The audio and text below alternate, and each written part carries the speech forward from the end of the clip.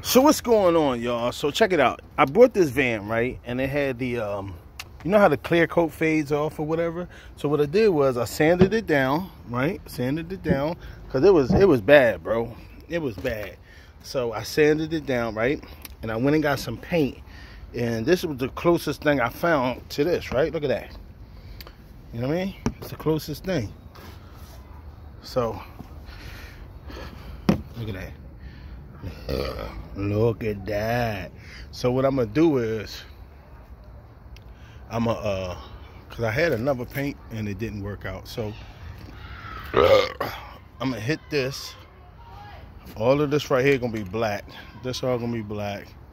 But uh I'm gonna see how it turn out. The hood was the worst part, so pray for me on this, man. I'm gonna try to I'm gonna try to get it, you know what I mean? I'm gonna try to get it as close as possible when I hit it all right so we're gonna see once i get done. But it's this is a, a 1993 chevy Lumina apv van. And uh, if you know anything about these joints you know these are classics